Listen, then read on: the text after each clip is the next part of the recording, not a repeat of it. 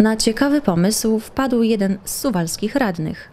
Jacek Roszkowski złożył interpelację zawierającą propozycję, by z wieży ratuszowej odgrywana była melodia Roty. Trwa rok, którego patronką jest Maria Konopnicka, autorka Roty. Melodię do słów jej wiersza napisał znakomity polski kompozytor Felix Nowowiejski. I tę właśnie melodię mielibyśmy słyszeć w 2022 roku w każde południe. Taka jest propozycja radnego Roszkowskiego. W kolejnych latach utwór miałby być odgrywany rzadziej przy okazji doniosłych wydarzeń. Zdaniem radnego to doskonały sposób na uhonorowanie urodzonej w Suwałkach poetki, ale też nasze niewątpliwe dziedzictwo kulturowe i historyczne. W interpelacji Jacek Roszkowski nie precyzuje, w jaki sposób ów rodzaj hejnału miałby być wykonywany, ale pomysł z pewnością wart jest przemyślenia.